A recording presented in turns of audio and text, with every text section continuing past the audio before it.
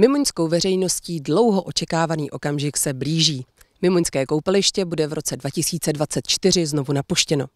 Za námi probíhá velká rekonstrukce, o které nám víc řekne starosta města pan Petr Král. Nové koupaliště se nedělá z důvodu toho, nebo nové koupaliště, tohle se opravuje, ale úplně to nové, co jsme chtěli nerizové, eh, tak ceny vyskočily extrémně vysoko. Je to díky inflaci, válce, asi covidu, nevím, prostě poslední období dvou let eh, ceny vyskočily nahoru, to všichni vědí. Eh, dostali jsme se na částku někam ke 136 milionům, tak to jsme zhodnotili, že nemůžeme investovat takovou částku ve městě kvůli dvou měsícům v podstatě. Zhodnotili, přehodnotili jsme celou tu koncepci toho koupaliště.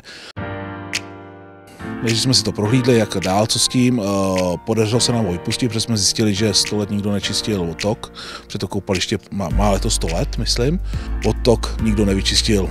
Asi opravdu těch 100 let, co jsme zjistili, takže konečně to začalo otýkat toto koupaliště, podařilo se nám ho vypustit, eh, což byl základ. V té době jsme zhodnotili, co se zde nachází, odvezli jsme odsaď 800 tun bahna, takže koupaliště nikdo nevyčistil taky 100 let. Co se zde dělalo při čistili, tak byla jenom kosmetická úprava, kdy se odvezlo jenom trošku bahna a zbytek se zasypal pískem a do té části, kde se to nepodařilo vypustit, se vůbec nic nedávalo, takže třeba u výpustě jsme bagrovali 60 cm bahna.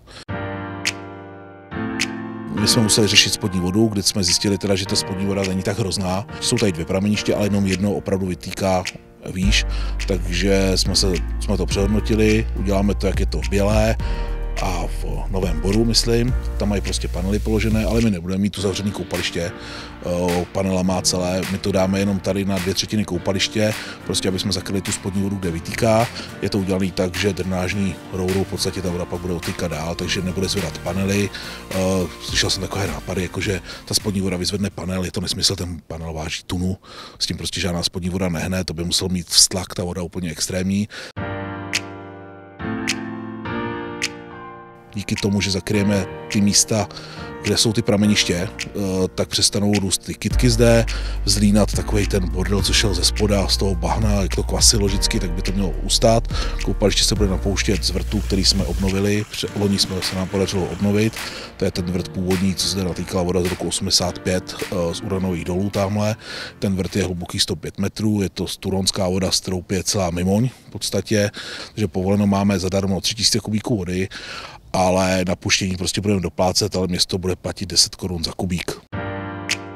Já si myslím, že i když to budeme dopouštět hodně často tu vodu, aby byla chladnější, protože bude chladnější ta voda, tak nás to vyjde o hodně levnější, než kdybychom to čistili chemii a bude to přírodní koupaliště, protože to nebude uzavřené celé dno. Někdo říká, že to nebude, že to je betonový, že to celý uzavřel, my to nebudeme uzavírat. Jsou to panely, panely mají škvíry a hlavně to bude jenom na dvou třetinách a zbytek, kde budou běhat ty děti, tak to bude písek. No a každý rok se koupaliště vypustí vždycky, vystříká se hadicí, asi pozveme moňské hasiče, když jim dáváme peníze na dotace a, a oni nám to vystříkají a vyčistí se to tady. Budeme to prostě moc každý rok vyčistit.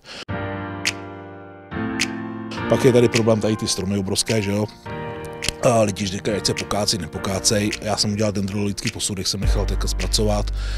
Stromy se kácet nebudou, jsou 300 let staré. Dokonce nám navrhoval pán, ať se je dáme do památné péče, nebudeme dávat do památné péče. Ale jsou duté, některé jsou jako starší, jak jsou 300 let staré, takže se ořežou. Někde u jednoho stromu zůstane v podstatě jenom torzo, protože je celý dutý až nahoru, takže tady nebude tolik větví, nebude to tolik padat, ale já si myslím, že tam ty stromy jsou všichni zvyklí. Zároveň tady se posune tenhle ten plot, na tomhle koupališti se zruší ten meziplot, bude prostě plot, jak je teďka, opraví se, udělá se nový plot, vznikne tady na zelené louce nahoře sportoviště, ty univerzální sportovní hřiště takový, plus hřiště pro nějaké děti. A opravuje se tady ta restaurace, co jsme koupili za 3 miliony, co koupilo město před čtyřma lety nebo pěti, pěti asi lety, co to koupilo město, takže se to celé opravuje, rekonstruuje. Vznikne tady v podstatě nová hospoda s terasou a budou tam i převlíkárny, všechno.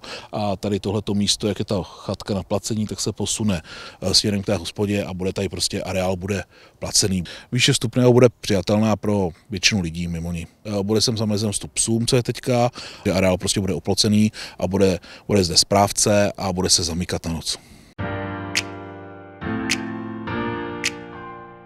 Poté, co končí sezóna, tak to vyčistíme, ale napustíme ho nějakou na malou hladinu, aby promrzla rychleji, protože v našich podmínkách v podstatě vydrží týden, maximálně dva, a takže je důležité, aby promrzla rychle. Takže zde necháme, aby zde lidi mohli bruslit.